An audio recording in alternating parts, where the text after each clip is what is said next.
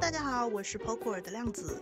今天呢，要和大家聊一聊波卡生态为什么没有一个 meme 土狗项目。熊市可太无聊了，每到熊市总会开始出现一些新的 meme 项目，像病毒一样传播。比如最近铺天盖地的，不啦不啦不啦不啦不啦不啦不啦不啦不啦不啦。不管是公链 Arbitrum 上面的 Arbitrum Doggy 和 AI Shiba，还是以太系搞怪画风的 meme coin Peep、Warjack，只要你在 Web3 落户了。就能铺天盖地的看到这些消息和图片。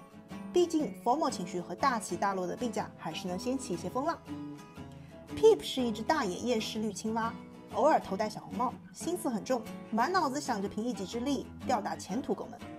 官网介绍也非常的狂。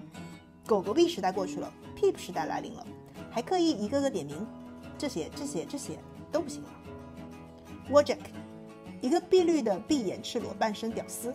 官网更是简单粗暴，没有背景交代，没有一点多余的信息公布，妥妥的三无产品。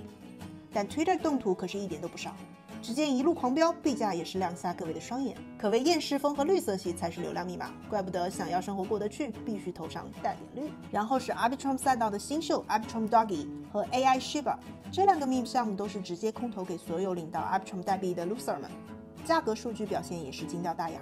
此外，这两个项目都分别设置了一些特别的玩法。Arbitrum Doggy 引入了 DeFi 和 Luck Drop 奖券的玩法，后续还会推出 NFT。AI Shiba 也是 Arbitrum 的链上项目，除了有 Meme 的属性之外，还有相应的 AI Shiba OG NFT。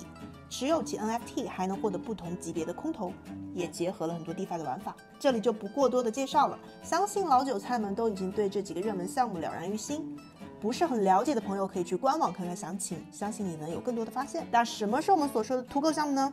市场上通常称这类无媒体报道、无正规宣传渠道、无审计、无白皮书的三无项目为土狗，一般由社区或朋友圈突然传播起来，讲的有点官方了。直白一点就是空气币，没有落地应用，没有未来规划，熟练驾驭空手套白狼的小手段。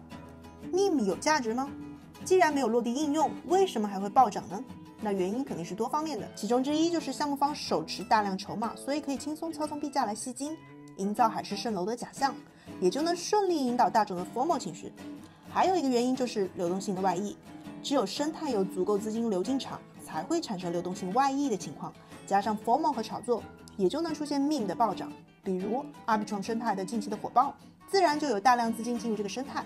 才导致的流动性充足，并开始有外溢的倾向，所以和这两个命 coin 大涨有着密不可分的关联。那说到底，波卡为什么没有出现土狗项目呢？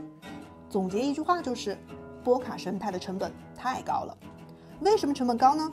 这里面有一个非常关键的点，就是波卡设立了插槽的门槛，而接入波卡生态必须要通过拍卖获得插槽。土狗可没这个钱，甚至土狗都不会花钱审计，别说花钱竞拍插槽了。再说，通过重贷质押大部分的资金到波卡中继链上，还怎么用大资金拉盘砸盘跑路呢？不存在的。由于波卡的整个氛围技术派非常的强，从一开始的目标就是要基于现有的区块链上的弊端，做一些前所未有的创新，比如解决单链无法互相跨链，避免 ICO 割散户跑路，改变单链无法扩容，手续费和时间成本极高等问题。所以，凭着做事的原则，从技术角度出发，Polkadot 一心想要完全颠覆市场上的现有逻辑，可谓是一个创新者。至少现在看来，在当时也是前所未有的先驱。波卡真真正正的在试图打破整个 Web3 世界的现状和可能性，也就是为什么设计了平行链插槽拍卖机制、Npos Staking 机制、c r o w l o n 重贷机制。在最开始想要加入 Polkadot 生态的项目都需要极高的成本，这也是当时全球韭菜、机构、社区争相疯冒的原因。因为概念确实新，闻所未闻；想法确实奇，创新并且具有颠覆性。可以说，当时能与之抗衡的跨链项目根本无法与之匹敌。整个生态的声望非常良好，甚至说，长在波卡生态上，强大的社区力量和极高的质押成本是必不可少的。这也是为什么没有 meme 土狗项目愿意在波卡生态中生长的究极原因。贵呀！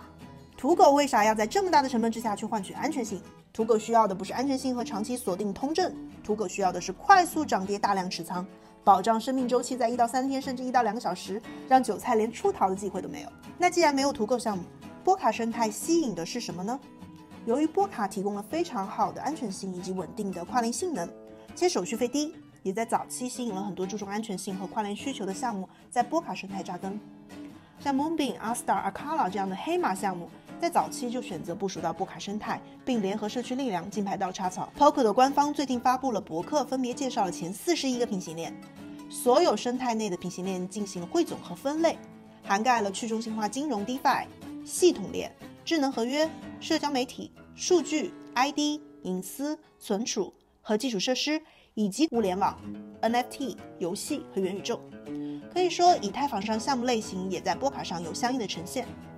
根据最新的 Masari 发布的波卡2023 Q1 的报告中，我们可以了解到，在2023年第一季度，Polkadot 继续布局网络发展和扩张，财务表现也很稳定，市值季度环比增长百分之五十一，收入环比增长百分之二十八，支出了一百四十万国库的 DOT 用于基础设施、社区活动和流动性供应。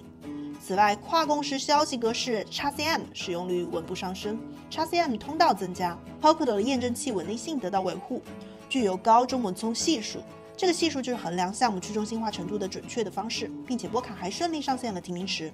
Polkadot 的近百分之五十的供应量被质押，侧面也反映了理想质押率机制是有效的。Polkadot 推出的 XCM V3 OpenGov 系统平行链异步支持和平行线程，也在2023年众望所归，并且波卡致力于培育忠诚的开发者社区，这就为波卡的持续技术创新奠定了坚实的基础。总结一下。波卡虽然已经过了 formal 期，资本和机构的眼光已经开始转移到新的叙事上了，但是波卡强大的底层技术支持和安全性能是无可厚非的。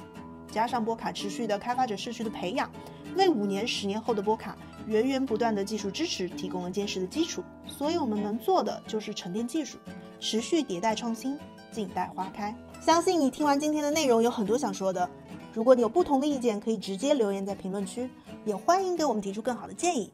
好了，我们今天的分享就到这里了。最后提醒一下，珍爱资产，远离土狗。那我们下期见。